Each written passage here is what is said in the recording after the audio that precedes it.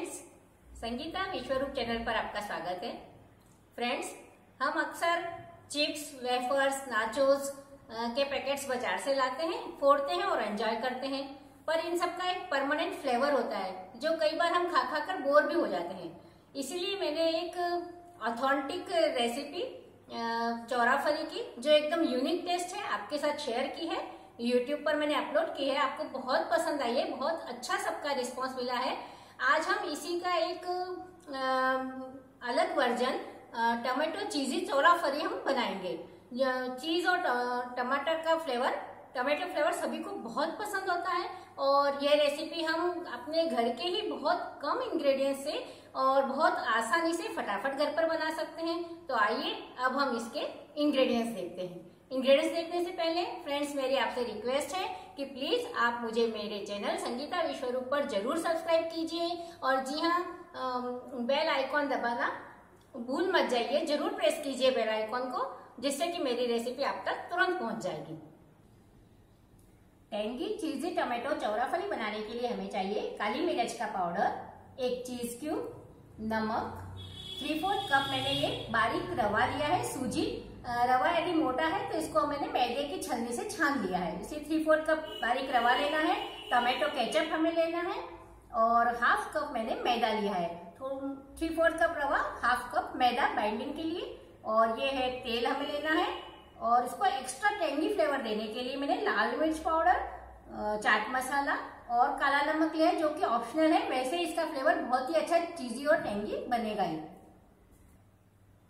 Friends चौराफली बनाने के लिए, चीज़, टमाटो चौराफली बनाने के लिए हमने बाउल में सबसे पहले हमें रवा लेना है, सूजी, जिसको मैंने आपको पहले भी बताया कि इसको मैंने बारीक छलनी से छान लिया है, मैदे के छलनी से, और नीचे वाला बारीक पोर्शन लिया है थ्री फोर्थ कप रवा हमें लेना है, उसमें मैंने हमें आधा कप मैदा मिलाना है। सूजी और रवा मिक्स करने, रवा और मैदा मिक्स करने के बाद अब हम इसमें डालेंगे काली मिर्च का पाउडर हाफ़ टी स्पून हमने कोई भी और स्पाइसेस इसमें नहीं लिए हैं। काली मिर्च का पाउडर लेना है और नमक हम स्वादानुसार हम इसमें डालेंगे। अब हम इसमें डालेंगे दो से तीन चम्मच हम इसमें तेल का मोयन देंगे। पहले मैं दो चम्मच डाल रही हूँ, अच्छी तरह मिक्स कर लेते हैं। थोड़ा सा मोयन और इसमें डाल देते हैं। हाफ़ चम्मच और इस तरह से इसको मोयन डाल के अच्छी तरह मिक्स कर लेंगे। तेल को मैंने अच्छी तरह मिक्स कर दिया है। एकदम क्रम्बल टेक्स्चर आ जाता है। अच्छी तरह मिक्स करने से हमारी चौड़ा फरी एकदम क्रिस्पी बनेगी। और अब हम इसमें चीज़ ग्रेट कर लेते हैं। चीज़ क्यूब को ग्रेट करना है। अब हमने चीज़ ग्रेट कर लिया इसको भी हाथ से मिक्स कर लेते हैं हम। मिक्स करने के बाद अब हम इसमें डालेंगे टमाटो केचप टमाटो केचप से ही हमें कट्ठा डो इसका गूंथना है एकदम कड़क। ऑलमोस्ट दो से तीन टेबल स्पून टमेटो केचप हमें चाहिए। पहले हम दो टेबल स्पून डाल लेते हैं और मिक्स कर लेते हैं। एकदम कड़क चाहिए हमें। जितना कड़क होगा, उतनी क्रिस्पी बनेगी। हमारी चौराफली उस अंदाज से हमें लेकर और इसको डो गूंथना है। थोड़ा सा और मैं लेती हूँ। और केचप का फ्लेवर भी इसमें बहुत अच्छा आएगा। टमाटो का फ्लेवर। केचप ये मैंने घर का बना हुआ लिया है। इसकी टमाटो केचप की रेसिपी मैंने पहले भी यूट्यूब पर अपलोड की है। आपने ज़रूर देखी होगी।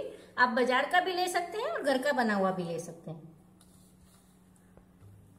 ये ऑलमोस्ट तीन चम्मच मैंने इसमें टमाटो केचप डाला है और दो गूंथ लिया है। अब हम इसको थोड़ा सा रेस्ट दे देते हैं, जिससे कि रवा अच्छी तरह फूल जाएगा। पाँच से दस मिनट के लिए हम इसको रेस्ट दे देते हैं। फ्रेंड्स अब दस मिनट हो गए हैं।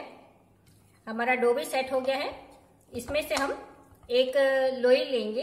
इस तरह की मीडियम साइज़ की हमें एक लोई लेनी है। और हमें इसको पतला बेलना है।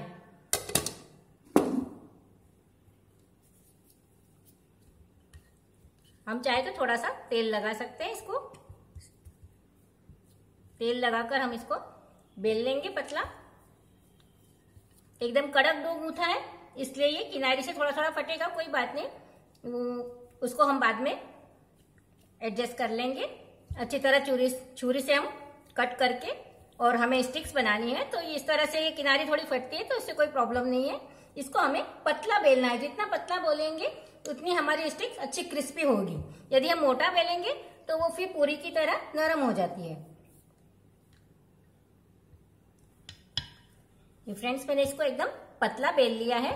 इसमें केचप है, इस वजह से थोड़ा सा चिपकता है, पर फिर भी आसानी से, बहुत आसानी से बेला जाता है इसको। अब ये मैंने पतला बेल लिया है। अब जो इसके ही ये साइड से इसको हम इवन कर लेते हैं इस तरह से।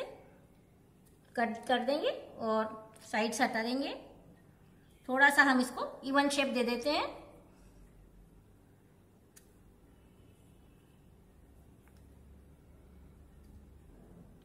अब हम इसकी लंबी लंबी पतली स्टिक्स कट करेंगे। चौरा फली बनानी है। इस साइज़ में हम इसको कट कर लेंगे। कट करने के बाद हम एक एक चौरा फली उठाकर इस तरह प्लेट में रख लेंगे।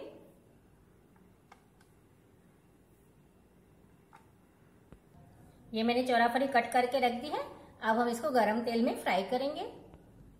चौरा फली के लिए मैंने तेल गरम कर लिया है तलने के लिए। और इसको आप धीमी आँच कर दिए, एकदम धीमी आँच पर हमें तलना है। जिसपे ये क्रिस्पी बनेगी एकदम।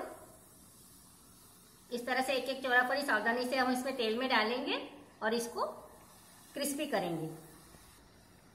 ये चौरा फली हमारी गोल्डन हो गई है। अब हम इसको निकाल लेते हैं। बहुत जल्दी गोल्डन कलर आ जाता है इसमें। ध्यान रखना है हमें।